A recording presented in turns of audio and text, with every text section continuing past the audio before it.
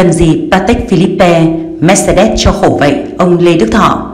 Liên quan đến vụ án xuyên Việt Oi, cựu bí thư Bến Tre Lê Đức Thọ nhận hối lộ 600.000 USD và trục lợi nhiều tài sản đắt tiền. Quý vị thân mến, Viện Kiểm sát Nhân dân tối cao ban hành cáo trạng truy tố cựu bí thư tỉnh ủy Bến Tre Lê Đức Thọ các tội danh lợi dụng chức vụ quyền hạn gây ảnh hưởng đối với người khác để trục lợi và nhận hối lộ. Bà Mai Thị Hồng Hạnh, Giám đốc kiêm Chủ tịch Hội đồng thành viên Công ty trách nhiệm hữu hạn Thương mại Vận tải và Xuyên Việt Du lịch OI bị truy tố hai tội về vi phạm quy định về quản lý sử dụng tài sản nhà nước gây thất thoát lãng phí và đưa hối lộ. Theo cáo trạng, ông Lê Đức Thọ hai lần nhận hối lộ, tổng cộng 600.000 USD, nhiều lần nhận quà, mỗi lần vài trăm nghìn USD từ bà Hạnh. Còn nhiều tài sản khác có giá trị rất lớn, nhưng cơ quan điều tra xác định không đủ cơ sở xem xét trách nhiệm hình sự đối với ông Lê Đức Thọ. Trong thời gian ông Thọ nhận chức vụ và làm việc ở Bến Tre, bà Hạnh đã biếu ông Thọ 200.000 USD, 300 triệu và đồng hồ Patek Philippe, bộ gậy gốt đắt tiền. Đúng là lòng tham không đáy, tiền bạc quá nhiều, của cải không ít. Một cựu bí thư bất chấp đạo đức, phẩm giá, vơ vét tất cả. Cần đồng hồ Patek Philippe để làm gì? Chỉ có thể giải thích là tham. Làm cán bộ có chức vụ cao, được nhà nước cấp xe đi lại theo chế độ, nhưng lòng tham lại bắt phải nhận thêm chiếc Mercedes S450 gần 7 tỷ đồng. Tham của cải phi nghĩa đã không giữ được mà còn mất tất cả. Tiền bạc, tài sản mà ông Lê Đức Thọ nhận hối lộ và trục lợi phải tịch thu đủ, không sót đồng nào. Ông Lê Đức Thọ và các cán bộ ở Bộ Công Thương đã vì tiền mà tạo điều kiện cho Xuyên Việt Oi gây thất thoát 1.463 tỷ đồng tài sản nhà nước, tịch thu để bù đắp thiệt hại do Xuyên Việt Oi và họ gây ra. Cùng với ông Lê Đức Thọ, ông Đỗ Thắng Hải, cựu Thứ trưởng Bộ Công Thương, ông Trần Duy Đông và Hoàng Anh Tuấn, Nguyễn Lộc An là cựu vụ trưởng và hai cựu vụ phó vụ thị trường trong nước Bộ Công Thương cùng bị truy tố tội nhận hối lộ. Thứ trưởng Đỗ Thắng Hải nhận 50.000 USD, Trần Duy Đông 250.000 USD, Nguyễn Lộc An bị cáo buộc nhận hối lộ 4 lần, tổng cộng hơn 921 triệu đồng từ bà chủ Xuyên Việt Oi. Xử lý tội phạm nhận hối lộ, tham nhũng là làm theo quy định của pháp luật, nhưng phải thu hồi tài sản tham nhũng, hối lộ thì chống tham nhũng mới thực sự thành công. Không để cho bất kỳ ai tính được mưu kế cất giữ tài sản hối lộ, tham nhũng để sau khi ra tù hưởng thú điển viên. Người làm quan khác cứ nhìn vào những kẻ thân mang tù tội, trắng tay, trắng cả danh dự để mà giữ mình.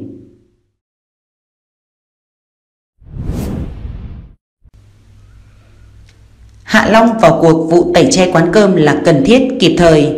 Việc Ban tuyên giáo Thành ủy Hạ Long vào cuộc vụ kêu gọi tẩy chay quán cơm bình dân đông khách nhất Hạ Long, Quảng Ninh là kịp thời. Liên quan đến vụ kêu gọi tẩy chay hệ thống quán cơm sạch Bà Liên, một trong những chuỗi quán cơm bình dân đông khách nhất thành phố Hạ Long, Ban tuyên giáo Thành ủy Hạ Long, tỉnh Quảng Ninh đã nhanh chóng vào cuộc. Ban tuyên giáo Thành ủy Hạ Long đề nghị Phòng Văn hóa Thông tin thành phố phối hợp cùng đội an ninh và công an thành phố làm việc với chủ cơ sở kinh doanh cơm sạch Bà Liên, khách hàng trong clip và các bên liên quan để làm rõ nội dung sự việc. Kết quả điều tra sẽ được công khai rộng rãi trên các phương tiện thông tin đại chúng và các nền tảng xã hội nhằm thông tin minh bạch đến dư luận. Đây là một động thái kịp thời và cần thiết, rất đáng hoan nghênh từ phía các cơ quan chức năng thành phố Hạ Long. Bởi việc chuỗi quán cơm sạch Bà Liên tại Hạ Long đang bị kêu gọi tẩy chay là một sự việc nghiêm trọng, đã và đang tạo ra thông tin dư luận không tích cực trên mạng xã hội. Ông Đặng Thái Hà, quản lý quán cơm và khách hàng đã có cuộc gặp tại Phòng Văn hóa Thông tin Hạ Long với sự tham dự của đại diện một số cơ quan chức năng. Ông Hà thừa nhận, trong quá trình tiếp xúc với khách, việc trao đổi thông tin chưa rõ ràng, cách ứng xử chưa hợp lý và có lúc thái độ chưa chuẩn mực có thể gây hiểu nhầm, tạo bức xúc không hài lòng cho khách. Ông Hà thành thật xin lỗi đoàn khách và cho biết đã nhận thức sâu sắc, tự rút kinh nghiệm đối với bản thân, đồng thời sẽ không ngừng nâng cao văn hóa ứng xử của cơ sở và nhân viên phục vụ để góp phần xây dựng môi trường kinh doanh của du lịch thành phố. Đại diện chủ quán cơm cuối cùng cũng đã nhận sai, xin lỗi cũng là việc rất đáng ghi nhận và tha thứ, bởi đạo lý đánh kẻ chạy đi không ai đánh người chạy lại. Tuy vậy, sự việc này cũng là bài học quan trọng cho các cơ sở kinh doanh dịch vụ ăn uống, không chỉ ở Hạ Long mà còn trên cả nước về việc giữ vững chất lượng dịch vụ và thái độ phục vụ trong mọi hoàn cảnh. Vẫn biết rằng việc quán cơm sạch Bà Liên từ chối phục vụ khách suy cho cùng là phạm chủ thuận mua vừa bán, không vi phạm pháp luật. Tuy nhiên về mặt đạo đức và tình người thì rất đáng lên án.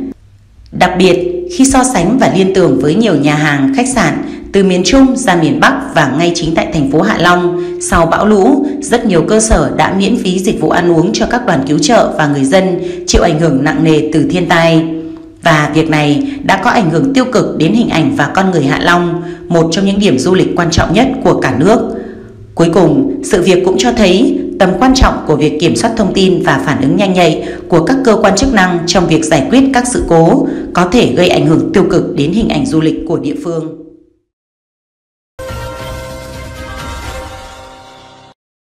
Chính sách phục hồi sản xuất kinh doanh phải quyết nhanh, triển khai nhanh.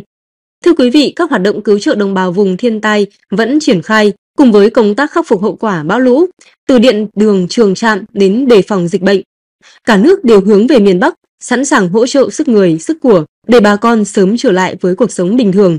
Và công việc quan trọng nhất đó là hỗ trợ các hộ kinh doanh, doanh nghiệp bắt tay vào sản xuất kinh doanh càng nhanh càng tốt. Bão lũ gây thiệt hại rất lớn, nhiều hộ dân nuôi trồng thủy sản, nông sản trắng tay.